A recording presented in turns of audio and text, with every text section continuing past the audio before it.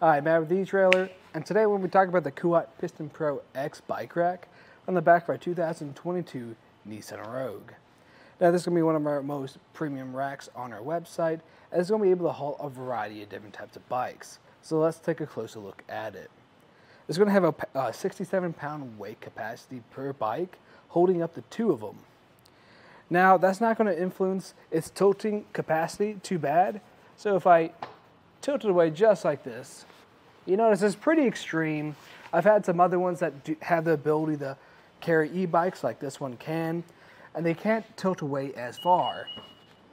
But with the tilted away like this, you'll notice we have access to our hatch.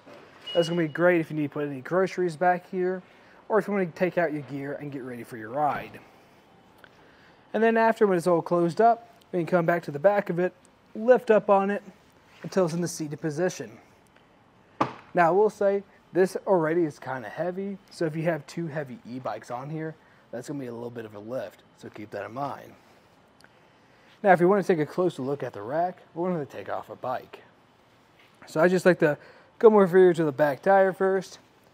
We'll have this button, you just press on it, and that's going to release our pistons, which releases our arms, because we have a dual wheel mount system today, and that's what that's going to allow you to carry alternative and carbon frame bikes. It's a really quick and easy system to use. I'm a big fan of it, but when your bike is off, you can take it for a ride. With it off, we can look at our trays now, and that's going to be able to accommodate a couple different tire sizes, from your skinny to your standard to your 5 inch fat tires. You want to make sure you put your arms back down, a lot of times you'll notice if you push this one too far, it won't lift up on its own. So what you have to do is press that button again, and then you have that ability to put it all the way back down. Now we can get some measurements. Let's see how this is going to fit back here. So going from my back bumper to the back of the carrier, that's to be about 24 inches, which is actually pretty good. Now I still keep in mind if you're in a tight spot, like a parking spot or garage, just watch out for that. As for our ground clearance, that's going to be a little bit over 19 inches, which is actually pretty good. Now the caveat off of that though is if you do have those e-bikes on here, you are going to have to lift them all the way up here, which can be a little bit of a lift. But if you don't have any bikes on here, you can fold this up to save some space. It'll click into place right here. Now this one does sit pretty close to the car we have today.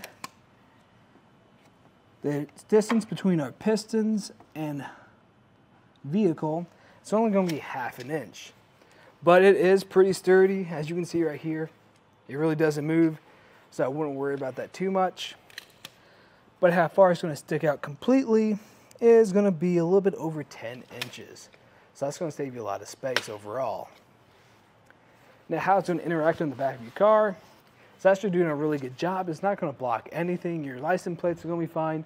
Your backup camera might pick up a little bit of it, but that's more of a good thing because if you are backing up, you want to make sure you're not getting too close with your carrier too. And your taillights and back window won't be obstructed either. And for how it's going to install, it's going to go into our 2-inch hitch receiver. Then we're going to have a pin that goes through there and connects to a locking core. And at the very end of it, we have this anti-rattle device. What's really nice about this is we have this included tool to tighten this and loosen it up. And the way and where this attaches to is at the very top of the carrier. And you can lock this in place so no one can come by and take it right off. Now what sets this rack apart from other carriers is going to be these lights we have on it. We don't have any wiring installed on our car today, so we can't show you that. But if you do get this rack, just make sure you have some four pole wiring so you can use the lights included on this. Overall, it's to be a solid choice if you are looking for a very premium rack that can hold a variety of different types of bikes. And if you like those lights being installed on it too, to give you that extra safety, it's going to be great for you. Now for this particular one we have today, the two bike version is, I'd actually recommend just getting the Kuat Piston Pro because we still have our lights or our tail lights on here that aren't being blocked. So having two sets of lights is nice and all, but I don't think you need that extra lights on here.